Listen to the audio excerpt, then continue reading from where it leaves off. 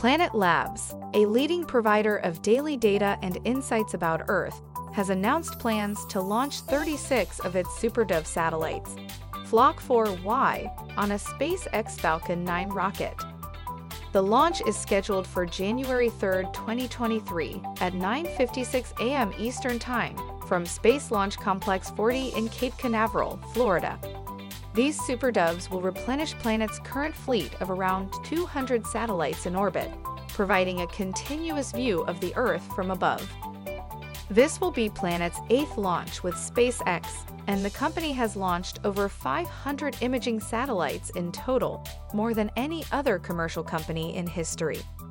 Planet Labs Vice President of Launch, Mike Safyan stated, We're excited to again work with SpaceX to bring 36 SuperDoves to orbit, our eighth overall launch with the launch provider.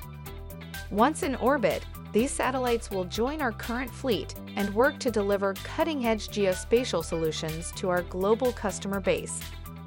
Founded in 2010 by three NASA scientists, Planet Labs is a leading provider of global, daily satellite imagery and geospatial solutions. Planet designs, builds, and operates the largest Earth observation fleet of imaging satellites, capturing over 30 terabytes of data per day. The company provides mission critical data, advanced insights, and software solutions to over 800 customers worldwide. Shares of Planet Labs trade on the New York Stock Exchange under the ticker symbol PL. For more information, visit greenstocknews.com.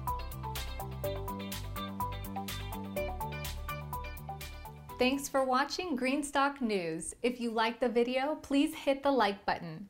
If you want to see daily Greenstock News videos, hit the subscribe button. And if you have something to say, please leave a comment.